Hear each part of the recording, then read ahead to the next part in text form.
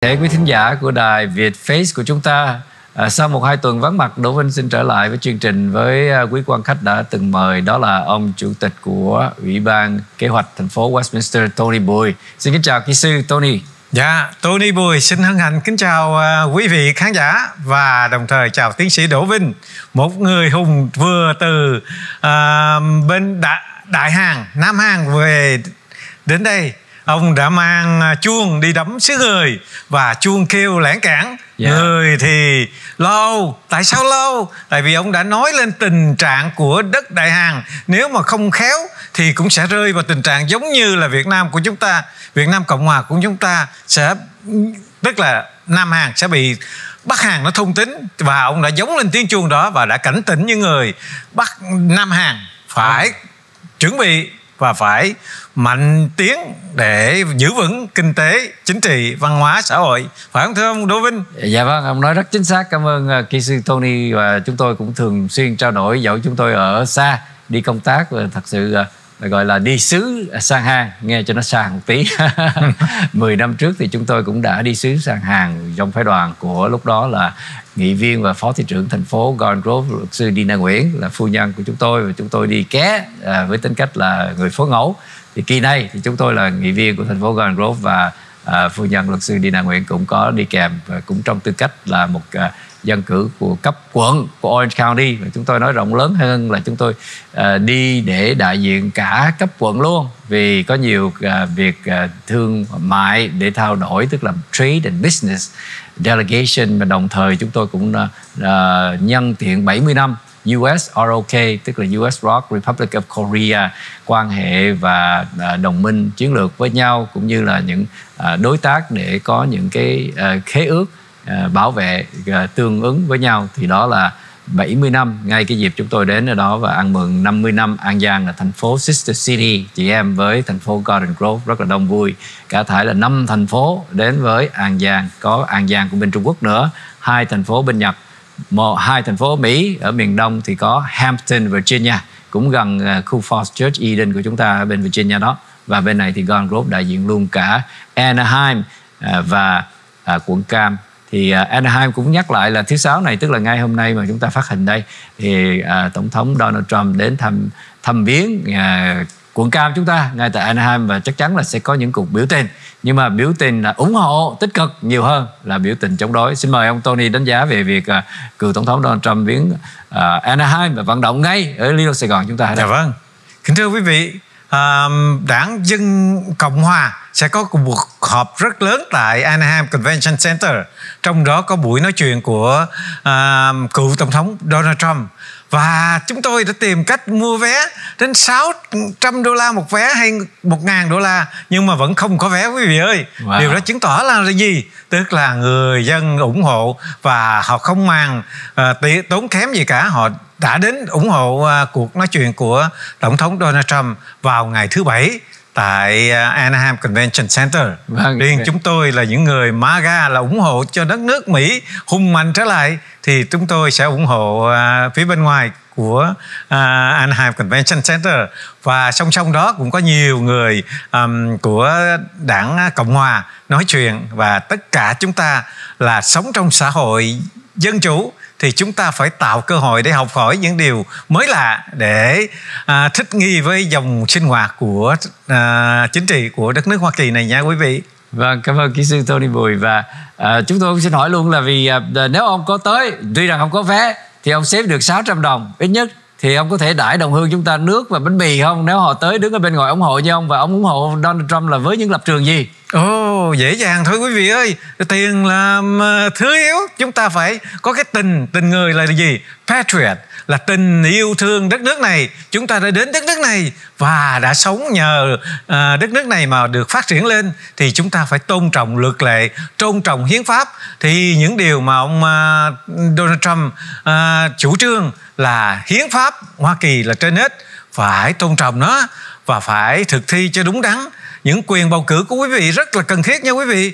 Quý vị phải đến à, ghi danh bầu cử. Hiện tại tại thành phố à, à Westminster có một cái trung tâm sinh hoạt của RNC của Republican mở trên lầu của chỗ khu uh, Wells Fargo Bank góc đường Bonsa và Busha quý vị lên đó chưa ghi danh bầu cử nên lên đó ghi danh bầu cử. Và mỗi lá phiếu của quý vị rất là quan trọng cho dù quý vị ủng hộ dân chủ hay cộng hòa thì lá phiếu đó chứng tỏ là quý vị có quan tâm đến sự sống còn và sự phát triển hùng mạnh của đất nước Hoa Kỳ này. Dạ vâng như vậy quý vị nào đến Anaheim Convention Center cách Liêu Sài Gòn chúng ta chừng 50 phút à không có xa. À, kế cạnh uh, Disneyland và trên đường Harbor đi lên thẳng thì Anaheim Convention Center. À, hàng năm thì à, có rất là nhiều những cái sinh hoạt uh, lớn quy tụ về đó. Có năm thì Đỗ Vinh đã là MC cho uh, đại lễ Phật đản uh, của uh, quý thầy tổ chức ngay tại Anaheim Convention Center. Quý đồng hương đến rất là đông đảo. Và chúng tôi cũng uh, không quên năm đó trưởng ban tổ chức chính là cố hòa thượng uh, Quảng Thanh của chùa Bảo Quang. Chúng tôi uh, là MC trong chương trình đó cùng với giáo sư Huỳnh Tấn Lê. À, đó là một cái kỷ niệm rất là đẹp. À, cũng hơn 10 năm rồi xin nhắc lại như vậy. Đó là Anaheim Convention Center. Nơi mà quý vị Phật tử là có từng đến đó và các sinh hoạt của cộng đồng chúng ta cũng làm quen ở đó. Và đúng ngày 11 đến 14 tháng 10 này chúng tôi sẽ có một cái World Korean Business Convention ngay đó. Và tất cả những phái đoàn bên Korea và muốn làm ăn với Mỹ sẽ tập trung về ngay Liêu Sài Gòn. Chúng ta Anaheim Convention Center. Xin quý vị đừng quên ngày 11 đến ngày 14 và Đỗ Vinh cũng là khách mời VIP của tổ chức đó và sẽ có mặt quý vị nào muốn đến tham dự chương trình của World Korean Business Convention tại Anaheim Convention Center quý vị gọi cho Đỗ Vinh 714 548 8289 và chút nữa chúng tôi cũng xin cái số điện thoại của kỹ sư Tony Bùi nó không ngại cho quý đồng hương yeah. Dạ. liên lạc về sinh hoạt uh, RNC ngay tại lòng phố Liêu Sài Gòn ở trên lầu của nhà băng West Wells Fargo. Ở dưới đó quý vị thấy cái nguyên một giải phố Tam Biên rồi à, Lục Đỉnh Ký rồi đó nó ngay trong đó đó trên lầu 2 và tôi cũng đó tới đó đã được mời thuyết trình về ADU ở Westminster cũng như do kỹ sư tôi vừa tổ chức để loan những cái thông tin rất là hữu hiệu hữu ích cho đồng hương chúng ta ngay tại Westminster. Và xa hơn thì đó là RNC của à, giám đốc à, Nguyễn Việt Linh. Nguyễn Việt Linh là người coi cái cơ quan và văn phòng ở đó thì quý vị liên lạc về ông Tony Bùi để biết thêm những sinh hoạt và à, của dòng chính và của à, đồng hương chúng ta người Mỹ gốc Việt tại địa phương này đặc biệt luôn Sài Gòn Westminster vâng mời ông nói tiếp vào tối hôm qua đó ông cũng tới cái uh, meeting thường thường trực của thành phố Westminster phải không? Xin dạ đúng rồi. Và báo cáo cho quý đồng hương chúng ta dạ. có những diễn tiến như thế nào? Đầu tiên thì tôi xin cho quý vị số điện thoại riêng của tôi là 714 487 8593 để tất cả những cái thắc mắc à, của quý vị mà chúng tôi giải quyết được, giúp đỡ được thì chúng tôi sẵn sàng. Thì hôm qua chúng tôi cũng đến tham dự buổi họp của thành phố. Mỗi à, hai tuần thành phố có tổ chức buổi họp và tất cả mọi cư dân đều được mời đóng góp ý kiến. Tôi không những là planning commissioner của thành phố mà còn là cư dân của thành phố Westminster. Thì tôi đã đóng góp ba vấn đề vấn đề thứ nhất là law and order tức là luật lệ luật pháp của Hoa Kỳ cần phải được duy trì để bảo vệ an sinh cho dân chúng. Đó là law and order. Thứ nhì là vấn đề là không nên cho phép bán những cái thức uh, thức cần sa ma túy ở trong thành phố. Một số thương gia tìm cách đưa những vấn đề này ra trong thành phố để được sự chấp thuận buôn bán ma túy cần sa thì chúng tôi thấy đây là cái trở ngại rất lớn và làm cho truy đồi thành phố.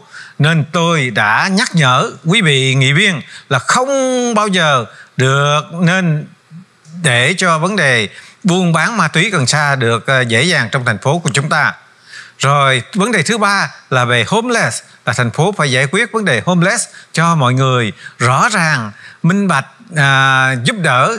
Và đồng thời một vấn đề đó à, tiến sĩ Đỗ Vinh cũng thấy đó là ADU là thành phố phải giúp đỡ cho dân chúng xây dựng những cái ADU là những căn nhà phụ để dễ dàng không có ràng buộc về những luật lệ gắt gao và đồng thời làm trì trệ sự phát triển của thành phố. Đó là những vấn đề tôi nên nêu lên trong thành phố Westminster. À, à, cảm ơn ông uh, Tony Bùi. Và quý vị cũng có thể đến trong tư cách là cư dân của Westminster được ưu tiên 3 phút đó trong tiếng Anh hay tiếng Việt và được phiên dịch lại là 6 phút cộng lại.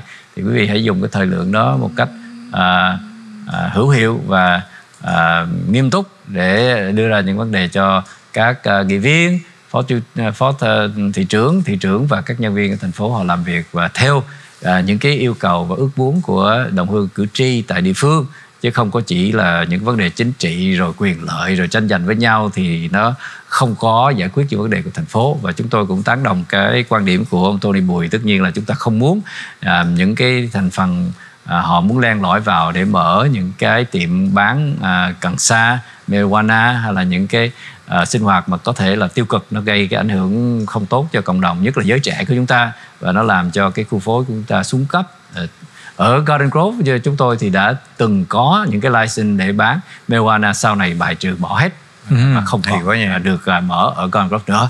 Và những cái khuynh hướng mà trở lại thì cũng không được tán đồng với các nghị viên và à, thị trưởng thành phố hiện nay của Garden Grove cũng như à, cái khuynh hướng mà mở sòng bài cờ bạc đồ này kia nó cũng rất là tiêu cực không có tốt cho à, cộng đồng chúng ta. Thì chúng ta à, cũng đã vận động rất nhiều trong đó các nhân sĩ cộng đồng như là à, bà Trần Thanh Hiên cũng đã từng làm việc với cựu nghị viên thành phố à, Dina Nguyễn để bài trừ những cái phong trào mà à, đưa những cái sinh hoạt đó vào thành phố. Chúng ta là rất là à, tiêu cực thì chúng ta phải à, cảnh giác và dùng cái số phiếu. Dạ góp vâng. phiếu của chúng ta và tiếng nói để à, các cử tri à, chúng ta cùng có một sức mạnh tạo dựng cho à, những cái chính sách của thành phố chứ không chỉ ý lại mà chờ đợi sự lãnh đạo của các nghị viên hay thị trưởng phó thị trưởng có khi họ làm việc chưa được hữu hiệu hay chưa được tốt không đáp ứng nhu cầu của quỹ đồng hương chúng ta. Vâng à, trở lại thì à, chúng tôi cũng rất là thân quen mời ông đọc lại số phone à, và tôi cũng biết nhà ông ở đâu nữa cho Dạ nên là vâng. lỡ như mà ông có gì sai đó thì à, đồng hương cứ tới biểu tình à, tôi chỉ đường cho tới Dạ. nhà Hay quá. ông thật sự là cư dân À. lâu đời của Westminster mình làm việc à, vì công tâm à, vì à, sự phục vụ cho đồng bào thành ra không ngại về vấn đề à, à, information gửi đến đồng bào là 714 điện thoại của tôi 714 487 8593 và chúng tôi sẵn sàng đón nhận những ý kiến à, đóng góp xây dựng của quý vị hay là những lời chỉ trích mà điều có à, đúng thì chúng tôi nghe còn không thì chúng tôi sẽ giải thích cho quý vị để quý vị mở rộng cái tầm nhìn ra. Nhất là về vấn đề um, gọi là Sanctuary City. Quý vị biết thành phố ờ, Santa Clara à, Santa Ana gọi là Sanctuary City tức là thành phố dung dưỡng tất cả những người nào bất hợp pháp được vào đó và được sống và không bị trở ngại trong vấn đề à, à, à, truy cứu. Do đó chúng tôi đã nêu lên à, vấn đề này với thành phố Westminster và kêu gọi quý vị là không nên biến thành phố Westminster thành Sanctuary City và phải minh bạch hóa tất cả mọi việc à, trong vấn đề sử dụng đồng tiền của thành phố à, vào những việc hữu ích để tránh corruption tức là tránh sự tham nhũng hối lộ cũng như quyền thế mà nhất là trong những building department họ tạo lợi dụng những cái khẽ hở của luật lệ để à, tạo ra sự khó khăn cho đồng bào của chúng ta trong vấn đề legalize à, hợp thức hóa những cái à, việc xây cất mà đồng bào hơi bị à, trở ngại trong vấn đề xây dựng à, trong thời gian qua. Và chúng ta phải legalize nó tức là hợp thức hóa đó. Để rồi đồng bào có thể xây thêm những căn nhà phụ trội khác. ADU đó quý vị. Để ờ, mở rộng ờ, ờ, căn nhà của chúng ta cho nhiều người được cùng sống hòa hợp với nhau. Vâng, cảm ơn kỹ sư tôi Bùi cũng là chủ tịch ủy ban kế hoạch thành phố Westminster và một cư dân lâu đời cũng như là một nhà hoạt động trong cộng đồng thì à, chúng tôi đã tham dự những cái chương trình ADU à, để à, giải nghĩa cho quý đồng hương nhiều cái cơ hội và những cái công tác mình phải làm để có những căn nhà phụ trội đó. Và những trường hợp mà cần phải hợp thức hóa, legalize thì chúng tôi cũng làm việc với nhau để cho các đồng hương cư dân chúng ta có những cái biện pháp thực tế, hữu hiệu để giúp cho quý vị giải quyết những vấn đề ADU mà có khi là đã xây trước và chưa được có giấy phép thì chúng tôi có thể giúp cho quý vị hợp thức hóa. Đó là một việc. Thứ hai nữa là phát triển thêm những cái nhà phụ trội đó rất là quan trọng bởi vì chúng ta thiếu à, nhà đất ở Sài Gòn đây. Và càng ngày nó càng lên giá quý vị thấy không? Có nhiều gia đình không thể mua nhà được nữa thì phải đi thuê. Kể cả con em chúng ta phải thuê phòng. Hồi trước bốn năm trăm đồng một phòng bây giờ là bảy tám trăm một cả ngàn đồng. À, thì phải có những cái à, căn nhà phụ trội để chúng ta giải quyết những cái vấn đề nhu cầu về à, nhà cửa tại ngay trong vùng Liêu Sài Gòn chúng ta và chúng tôi cũng có một cái um, điểm hơi nhức nhối nhắc lại thì um, ông uh, Tony Bùi cũng biết gần đây chúng ta có những cái sự gọi là phạm pháp đập phá cướp bóc à, ngay cả là lòng phố uh, Phước Lộc Thọ cũng đã Dạ, bị đúng rồi. xâm nhập thì ông có ý kiến gì trong chuyện này Dạ thưa kính thưa quý vị, tình trạng à, kinh tế khó khăn tạo ra những cái vấn đề phạm pháp và nhất là tại các thành phố lớn như San Francisco, Los Angeles hay là Seattle thì người ta đã có những luật là những người nào trộm cướp trên dưới 950 à, à 990 đô la thì không bị bắt và không bị truy tố ra tòa. Chính vì vậy mà nạn trộm cướp nó đã gia tăng rất nhiều tại các thành phố lớn.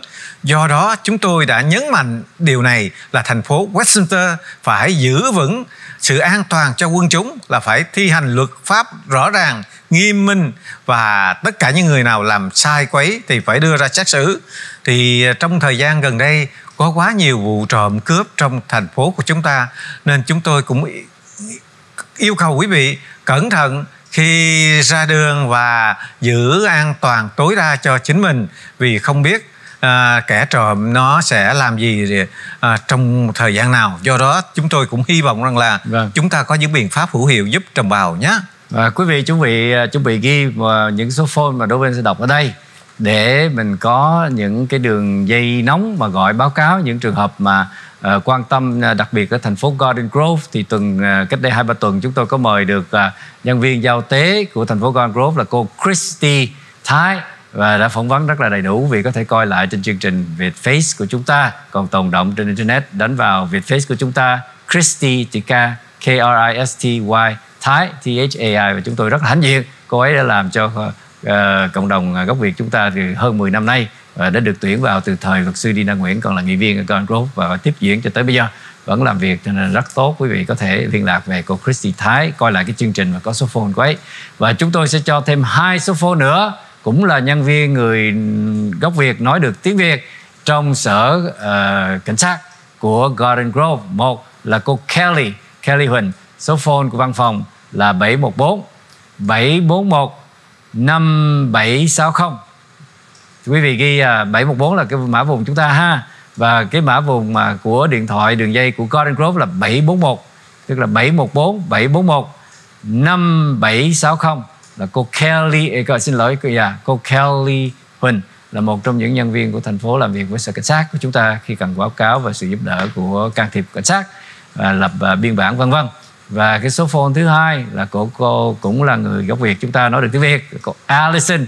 Điện thoại bàn của cô ấy là 714 741 5763 đó là bà bốn số sau và 5760 và 5763 mã vùng 714 số ba số của Gan Grove là 741 714 741 5760 và 5763 quý vị ghi đó là nhân viên ờ, nói tiếng Việt và làm việc với sở cảnh sát của ờ, uh, Garden Grove. Nhưng mà đó không phải là trường hợp khẩn cấp khẩn trương thì quý vị gọi 911 còn nếu không khẩn trương mà để báo cáo lập biên bản thì gần đây chúng ta đã có biển đồng hương có nhu cầu thì là liên lạc về uh, các nhân viên của thành phố. Đó là những người làm việc tùy thuộc à, hội đồng thành phố và thị trưởng. Cho nên chúng tôi sẵn sàng giúp đỡ quý vị trong mọi trường hợp xin quý vị gọi các nhân viên gốc Việt đó. Và cuối cùng còn đôi ba phút mời ông Tony Bùi nói cho rốt ráo những dạ. câu chuyện ở Westminster. Dạ nhân đây thì chúng tôi cũng xin à, gửi đến quý vị số điện thoại của Westminster Police Office là 714 548 3212 714 548 3212 Police Office tức là à, sở cảnh sát của Westminster. Quý vị có cần gì thì gọi than phiền những bất cứ vấn đề gì. Và đồng thời có gì khẩn cấp thì cứ gọi 911 nha quý vị. À, nhân đây thì chúng tôi rất hân hạnh được ngồi tiếp nói chuyện cùng tiến sĩ Đỗ Vinh để đưa ra những thông tin à, hữu ích đến đồng bào à, của chúng ta. Và hy vọng rằng đồng bào phải giữ vững à, tinh thần phải dùng thời giờ để dạy bảo con cháu của chúng ta để tôn trọng luật pháp của Hoa Kỳ này để xứng đáng là một người công dân của đất nước Hoa Kỳ. Vâng. Cảm ơn uh, kỹ sư Tony Bùi và mong uh, mời ông lại trong những chương trình khác. Uh, hôm nay thì chúng tôi đã hết giờ rồi và cũng cảm ơn uh, uh, dược sĩ Kim tối hôm qua có thực hiện một cuộc phỏng vấn với uh, Joe Dovin trên đài Việt Link 106.3 và cũng có tồn động trên internet. Chúng tôi mời quý vị xem lại. Chúng tôi cũng có kể nhiều việc về chuyến đi à, sang Hàn Quốc lần thứ nhì của chúng tôi à, lần thứ nhất 10 năm trước 2013 à, cũng dịp này là ngày quân lực của bên Nam Hàn và họ cũng rất là à, quan trọng cái quan hệ giữa Mỹ và Hàn Quốc và rất là à, tốt với những người à, Mỹ chúng ta dẫu gốc Việt hay gốc gì nữa. Họ cũng rất là tôn trọng và mời chúng ta đến trong tư cách là hữu nghị thì chúng tôi cũng mời ngược lại và 11 đến 14 tháng 10 này sẽ có Korean World Business Convention ngay tại Anaheim Center, Anaheim Convention Center. Quý vị có thể liên lạc về Châu David để có thêm thông tin. 714 548 8289 548 8289 và cuối cùng trước khi chấm dứt chúng tôi xin nhắc quý vị là chúng ta cũng nên phản đối cái khuynh hướng sanctuary city những thành phố dung dưỡng. À, nhiều cái vấn đề trở ngại với việc đó hay là không áp dụng được pháp luật một cách à, nghiêm minh thì nó sẽ gây những cái bạo loạn. À, chúng ta thấy những cái chuyện mà à, cướp bóc hay là giật à, túi sách bóp ở đường phố đó chúng tôi đều quan tâm và sẽ có cảnh sát làm việc cũng như là các nơi mà nó không được à, ổn định à, thì chúng ta cũng đừng có à, à, có cái khuynh hướng là tiêu cực hay là nhìn một cách tiêu cực những sinh hoạt này bởi vì ở đâu cũng có những vấn đề thì chúng ta cùng làm việc với nhau để giải quyết. À, cảm ơn quý vị và xin ghi nhận những số phone để quý vị liên lạc với những nhân viên thành phố như ông Tony Bùi mới nêu lên cũng như số phone của chúng tôi. Xin một lần nữa cảm ơn ông Tony. Xin hẹn lại có thể gặp ông ở trên RNC ở à, chỗ của ông à, Nguyễn Việt Linh. Dạ vâng. Chúng tôi còn có mời quý vị đồng hương tới đó sinh hoạt rất là dễ tìm nha quý vị. Ngay trên lầu trên, trên dưới là Wells Fargo đó, trong cái khu gọi là có cái uh, lục đỉnh ký rồi có tâm biên trên bên này rồi các chợ quán ở đó đó thì văn phòng ngay trên lầu rất là thoải mái và à, quý vị có thể đến bất cứ lúc nào trong giờ làm việc Vâng, xin mời ông gửi lời. Dạ, chúng tôi hân hạnh à, được ngồi hôm nay để trình bày những vấn đề quan tâm của chúng tôi đến quý vị và hy vọng rằng trong tương lai quý vị sẽ là những người đóng góp tích cực để giúp đỡ cho xã hội của chúng ta xã hội đất nước Hoa Kỳ này được phát triển lớn mạnh cho tất cả mọi người cùng hưởng trong đó có con cháu của chúng ta trong tương lai. Vâng, cảm ơn ông Tony Bùi và hẹn quý vị trong chương trình tới. À, bây giờ thì à, khí hậu cũng đã chuyển qua mùa thu rất là mát mẻ, không còn nóng nóng dội như là mấy tuần trước. Thì à, chúng ta cũng à, bước vào mùa lễ holiday season. Xin chúc quý vị nhiều hạnh phúc bên gia đình và giữ gìn sức khỏe để chúng ta còn sinh hoạt với nhau nhiều nữa. Xin cảm ơn. Xin kính chào.